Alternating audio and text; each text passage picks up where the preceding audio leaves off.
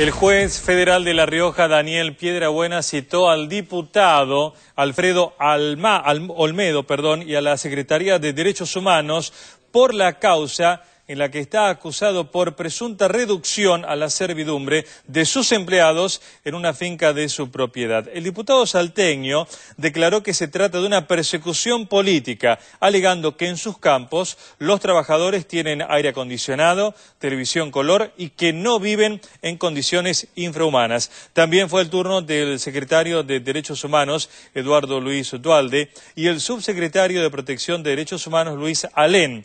Ambos, que son la parte querellante en el caso de trata laboral en la finca de la firma del diputado Olmedo, dijeron que nadie es perseguido por ser empresario y ganar su dinero de manera lícita. Tampoco se persigue a nadie por ser político. Dualde y Alén además presentaron fotografías sobre las condiciones en las que estaban estos empleados del diputado Olmedo.